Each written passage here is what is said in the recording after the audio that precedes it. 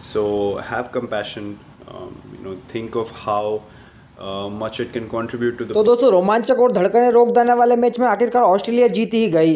और ऑस्ट्रेलिया की जीत के हीरो रहे मैक्सवेल, जिन्होंने शानदार शतकीय पारी खेली और अपनी टीम को फिर एक बार जिता दिया और सीरीज़ हारने से बचा लिया। वहीं इंडियन टीम ने मैच जीतने की पूरी कोशिश की, लेकिन बॉलरों ने जिस तरह की गेंदबाजी की, वह काफ़ी खराब थी। और खास करके लास्ट ओवरों में जहाँ दबाव बैट्समैन पर बनना चाहिए था, लेकिन उल्टा दबाव गेंदबाजों पर ही बन गया और इंडिया यहाँ मैच हार गई। मैच आखिरी के ओवरों तक चला गया और वहीं लास्ट बॉल में दो रनों की ज़रूरत थी, लेकिन मैक्सवेल ने अपनी टीम को चौका लगाकर जिता दिया। तो दोस्तों, आपको क्या लगता है, इंडिया यह मैच किस वजह से हारी है? हमें कमेंट करके ज़रूर बताएँ।